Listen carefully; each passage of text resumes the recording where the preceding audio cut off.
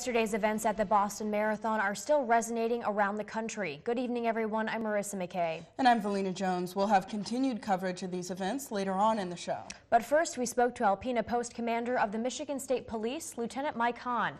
Lieutenant Hahn says he received correspondence today from the Michigan State Police headquarters with instruction for troopers statewide. The information states at this time there are no known threats made to the state of Michigan, but the MSP is in constant contact with the federal government.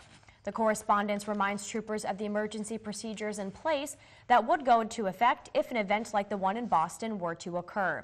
Lieutenant Hahn also relays information to the public as they have a critical role in partnering, partnering with public officials during states of emergency. Citizens are asked to remain vigilant and are advised to locate emergency exits when entering buildings and to simply be aware of their surroundings. Lieutenant Hahn says Michigan State Police are encouraging citizens witnessing non-emergency suspicious activity to report it to 1-855-MICH-TIP or to report online at www.michigan.gov slash michtip.